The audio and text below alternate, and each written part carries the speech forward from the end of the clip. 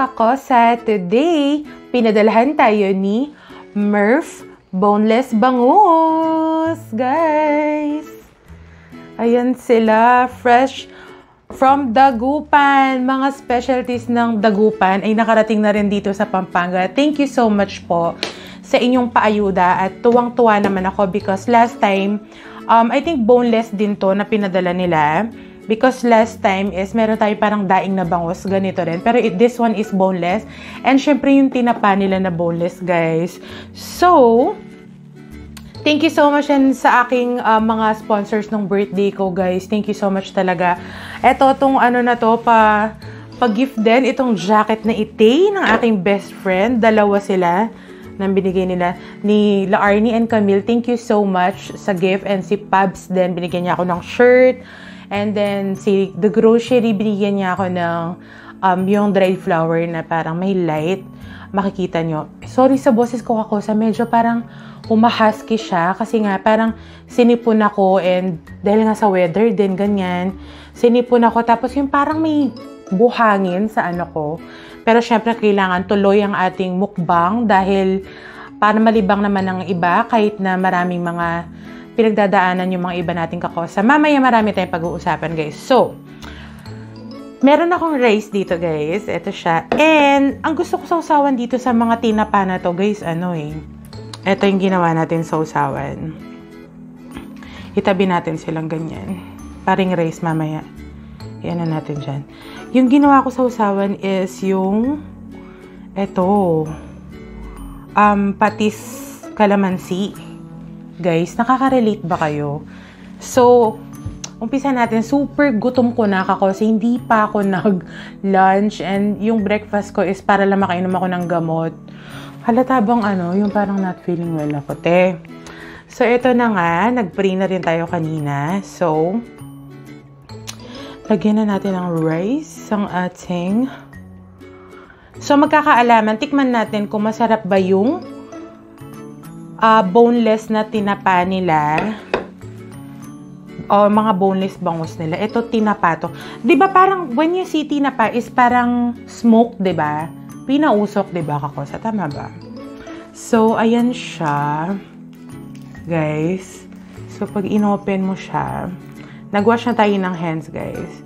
Ay, ang sarap. Ayan, oh. Medyo nakaano lang, pero ayan siya. Dumikit yung laman sa kabila ayan siya, ready to eat everything. As in, te, ang init pa. So, I'm so happy to try them because, ayun tabasis, oh. Ayan, oh. All meat, guys. ba? Diba? So, I'm so happy because, dito nga muna ako mag-rice. Because, ang dami minsan nagkikrave ng ganito, and di natin alam saan tayo bibili, guys. So, eto na.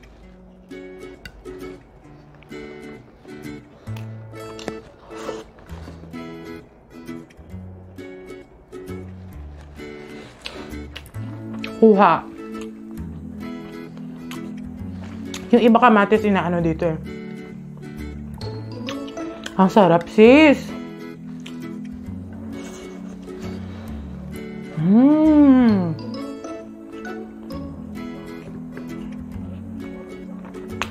Sis, walang tinik. Murph. Mm-hmm.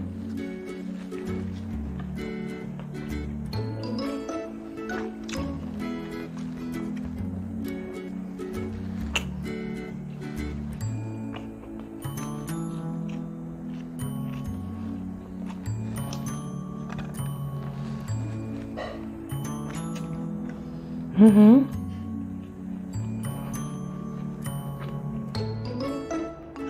Naramdaman nyo, sis.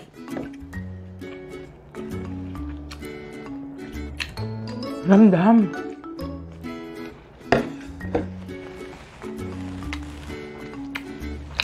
Kumusta kayo, guys? Ilang araw tayo hindi nakapag-shoot.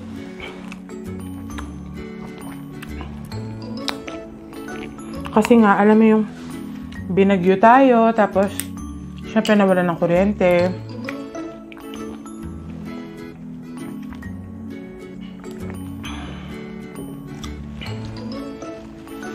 Bago natin pag-usapan yung nangyari si ano guys. Hmm, tap.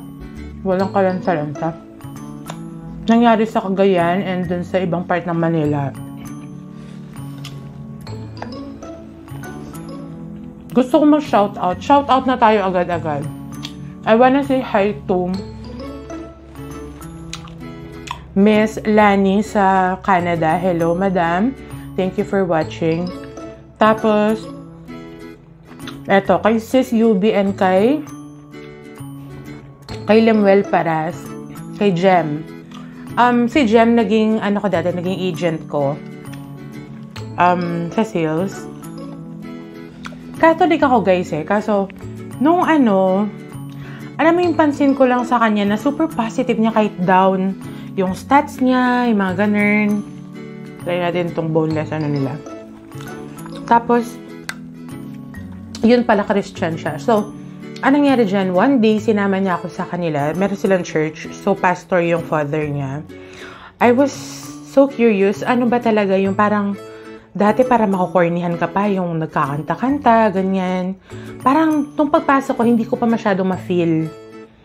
Pero, dinala niya ako sa isang sulok, sa isang part ng bahay nila. Of course, along with other friends who visited the, them. And then, diniscuss niya sa akin yung, you know, how to seek the kingdom of God. Basta masinsinan, parang na-open niya yung heart ko sa Christian world. Though hindi pa ako, alam mo yun, hindi pa ako nagpa-convert kasi, syempre, um, para mahabang proseso ata yun siya kasi mama, dahil Catholic kami talaga. Pero sa puso ko, talagang naramdaman ko siya. Then, nung pumasok na ako ulit, so sa taas yun, I still remember, when we went down, now to this time, you know, knowing the kingdom of the Lord, that I was saved, and yung I will be joining na there, ano, uh, their their devotion, their ano, parang mass ganyan. Guys, iba yung parang there was this time pa na tumayo silang lahat tapos nakaganon talaga sila lahat sa akin. Nag-pray talaga sila. Wina-welcome nila ako. Naramdaman ko yun. And since that day, kakosa, hanggang today, kung friend kita sa FB, makikita mo pagising ko pa lang, hindi pwedeng wala akong my day na yung uh, verse of the day sa Christian world. Kakosa. So, alam mo yun yung puso ko talagang napunta sa Christian world. In-explain ko rin sa mga taong kakilala ko, sa mga kumare ko, sa mama ko, ayan, number one pa. Ay, sarap ng... Oh my God, ang sarap ng daing sil. Hmm. Tsaka boneless, oh. Wala ka nang worry. Diba? Paano nila ginawa to? Ayun na nga. So,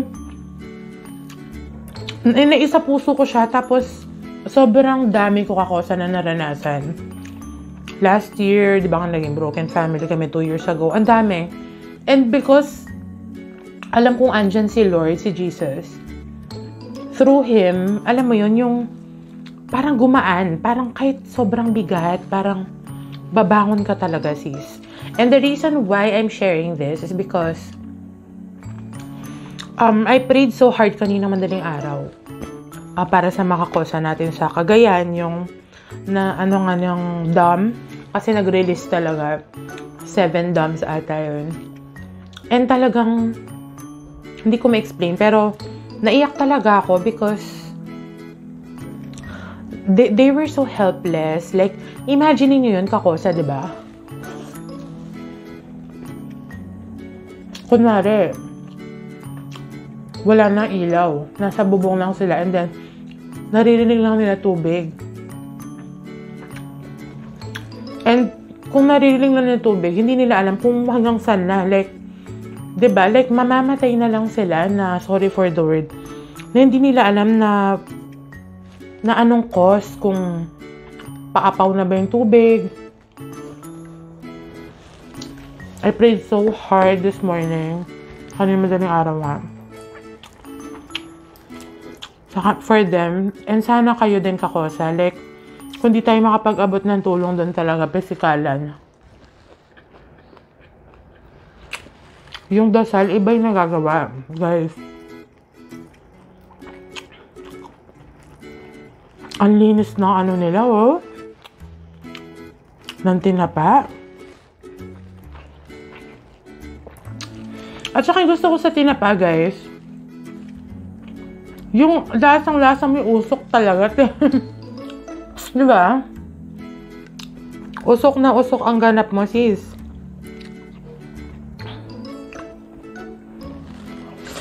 Mmm.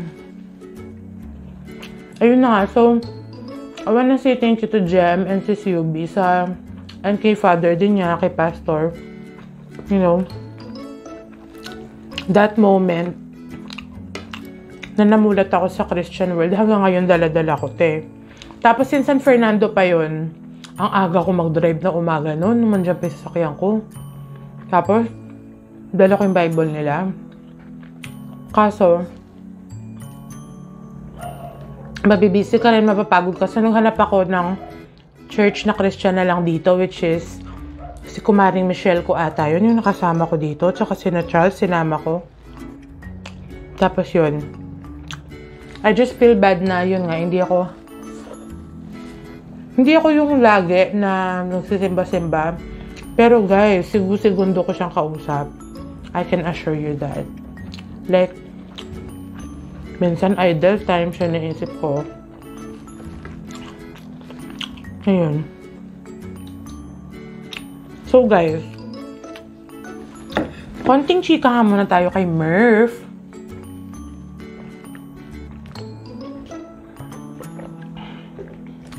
Ang sarap talaga, ang healthy ng ano, like, because the meat, you know that what you're eating is fish, like the meat, like you can go all in, like pwede mo siyang ubusin sis. So, ano ibig sabihin ng Murph? M-E-R-F. So, ang ibig sabihin ng Murph daw sa kanila is a random word used to a random word to use when you don't know what to say. So, pwedeng sabihin pag kumakain ka nito, boneless bangus namin, wala ka nang alam sabihin, kundi manyaman o masarap. Then, Murph initial ng mga names. Ah, okay, okay. Murph daw yung initial ng mga names nila. So, Marco, Edward, Ramon, and Francis. Of course, kakosa, I will give their link.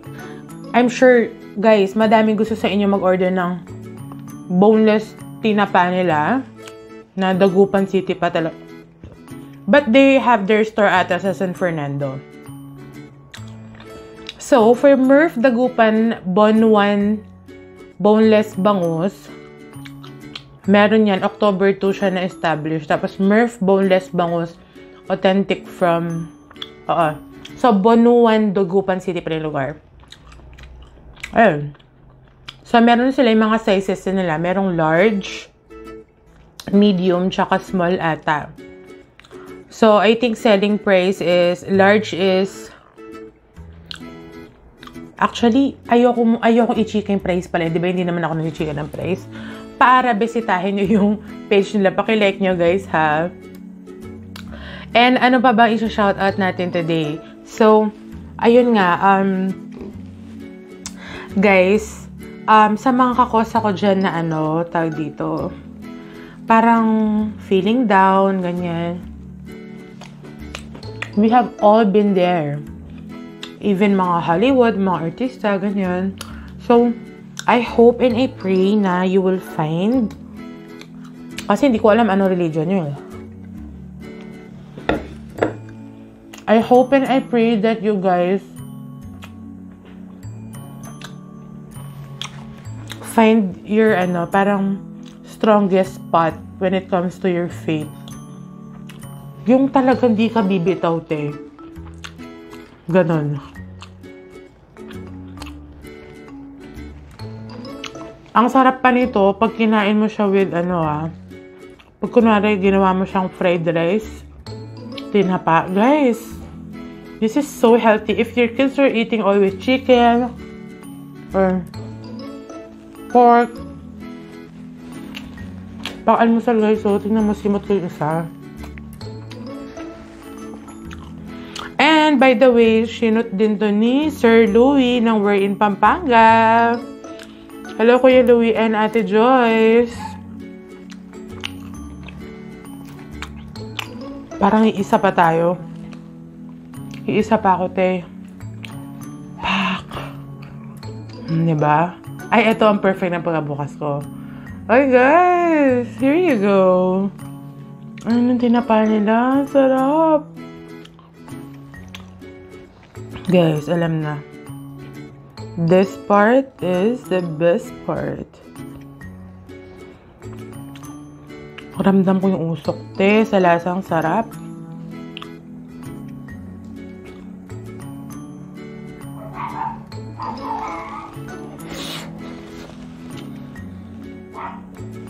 Mm-hmm.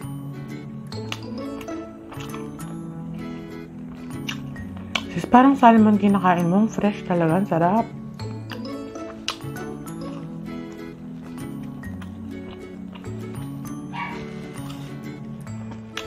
Kung may nakalimutan mo akong shoutout, may shoot pa naman tayo sa Monday. Si Crush nga, hindi ko pa naasikaso. Nag-add-add siya. Natawa nga ako kasi nga, may mga friends ako na nag, Di ba ito yung ano mo, bet mo, ganyan. Nag, nag-add siya.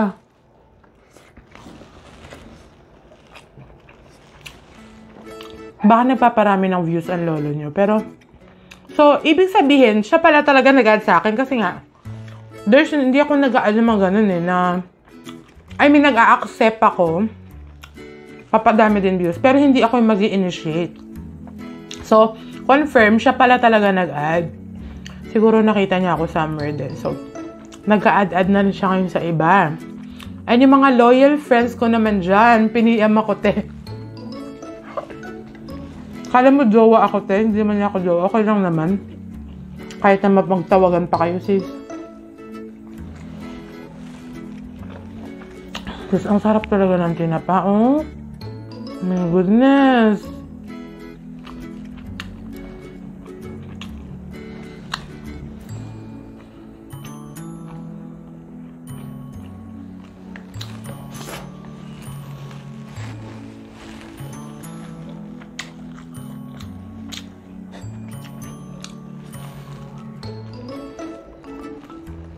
Grabe. Sisimutin ko tong pangalawang bangus na to. Literal. Hmm? The damage has been.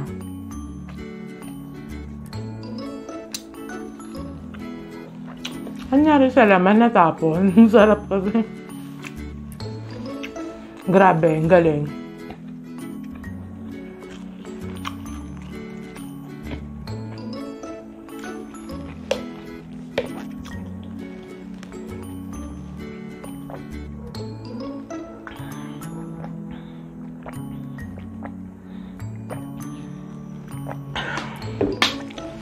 Gustong gusto ko mag-soda, kaso since sinisipon ako, super mensa ko, yoko muna ng acid.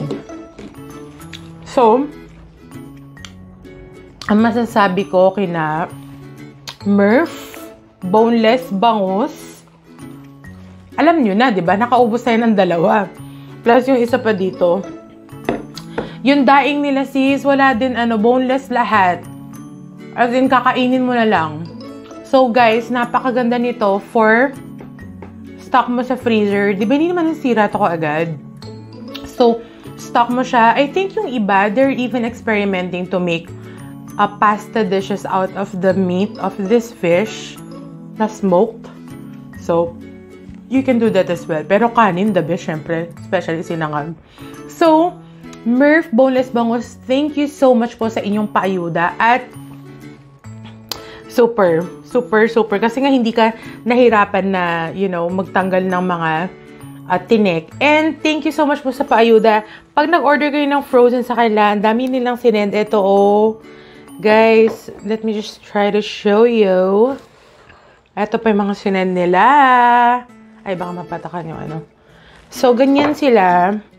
They would be sending ang lilinis ng mga fish. Boneless din yan, guys. So, thank you so much for watching, guys. And see you on my next video, kakasa. Ingat kayo.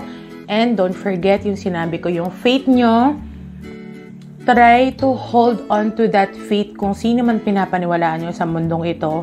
And please say a little prayer for our other kakosa, not only in Cagayan, but for those who are feeling down, kahit di sila nabahaan, like depression and other stuff. Thank you guys! Bye!